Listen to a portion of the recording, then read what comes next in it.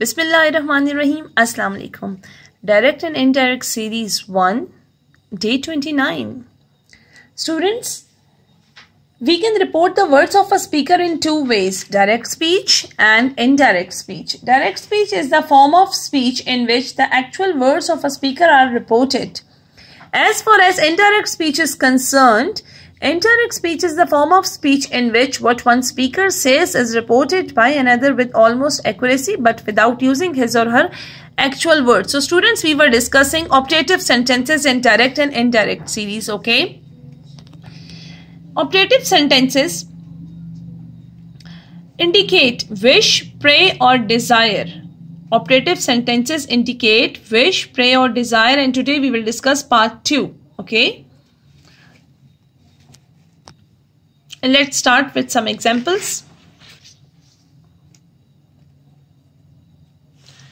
As I told you in my previous video that optative sentences indicate wish, pray or desire. For example, we said, may the police arrest the thieves. We said this is reporting speech. We said is the reporting speech and reporting verb is said and this is in past tense, okay? May the police arrest the thief. This is reported speech because this is inside the commas and reported speech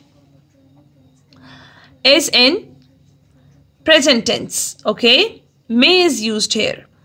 Okay, how we will convert this into indirect? We prayed that the police might arrest the thieves. May I have changed may into might I have removed the commas and I have used that. Alright. I use the word prayed. We prayed that the police might arrest the thieves. Alright. Another example. They said, May we do this paper to our satisfaction. They said, This is reporting speech because this is outside the commas. Alright and reporting verb is said and this is in past tense. If reporting speech is in past tense and reported speech, may we do this paper to our satisfaction. This is reported speech. This is inside the commas. Alright. And this is in present tense. So we will change may into might. And keep in mind these are the optative sentences. And optative sentences indicate wish, pray or desire all right so how we will convert this uh, direct speech into indirect they prayed that i have removed the commas as you can see and i have used that they prayed that they might do that paper to their satisfaction i did the pronoun changes as you can see our satisfaction is changed into their satisfaction okay and I have changed may into might. I removed the commas and I have used that. Okay. And instead of we, I have used they. They prayed that they might do that paper to their satisfaction. Alright.